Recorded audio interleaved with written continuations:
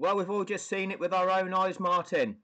We've all just watched the 2023 Abu Dhabi Grand Prix, and we can contrast what you have just said in this race with what you said back in 2021.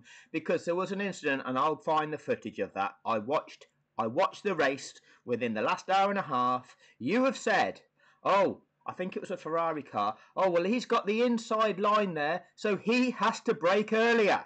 You said that. You said that, Martin Brundle. And then we saw the Norris versus Perez incident, and we saw what happened there, and we saw who the who the stewards penalised. 2021 though, what was the narrative in 2021?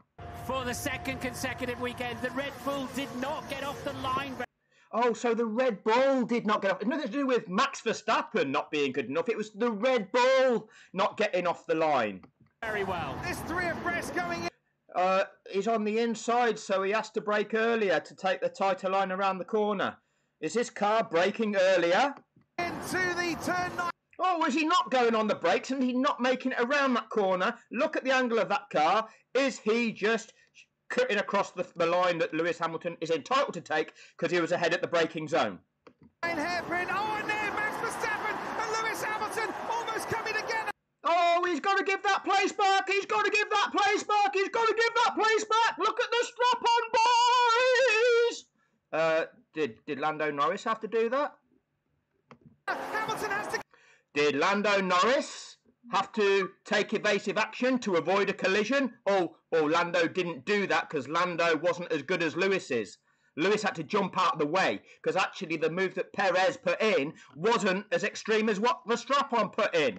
Go off the track. The Dutch fans roaring in the background. Oh, the Dutch fans! Fuck the Dutch fans! Okay? Educate the Dutch fans!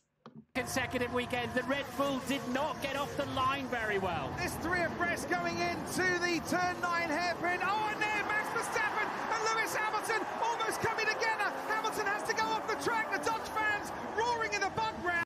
Right, so when the footage finally gets online that I can use, we'll do a comparison of what's just taken place with what took place in 2021 and how these bastards incited the crazies. How these bastards have conditioned the minds of people to make people believe that Hamilton should have given that place back on lap one. Filthy fuckers.